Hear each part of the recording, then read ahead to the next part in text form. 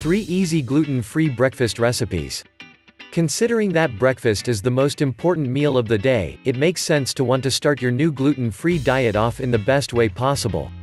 Whether you don't have a huge budget to buy and prepare whatever you please, or if you simply don't have a ton of time in the morning, most of us have to deal with that problem, keep in mind that there are still tons of great ideas for simple, quick, and extremely healthy gluten-free breakfasts.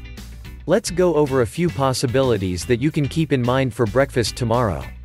Gluten-free breakfast recipes that are also really easy.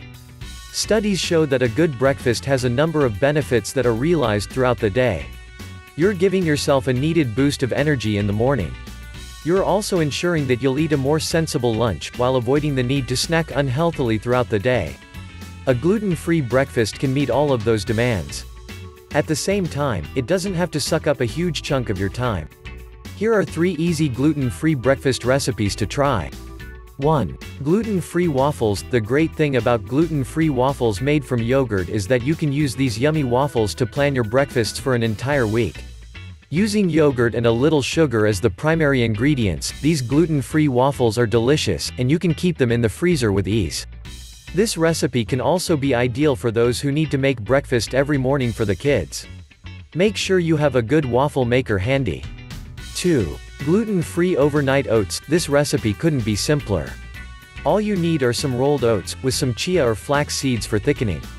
Add just a dollop of milk, and you're going to have an amazing, easy breakfast prepared in about 5 minutes. One of the best things about this recipe is how you can suit things to your specific tastes. With an endless array of flavor variations, you can rely on this breakfast choice from one day to the next.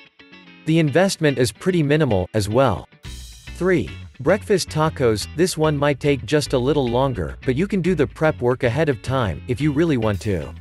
Then the only thing you'll need to do is heat up your taco shell. Use scrambled eggs or scrambled up tofu, or both for your filling. Please subscribe my channel QVid Vlogs below for more updates keep safe and God bless.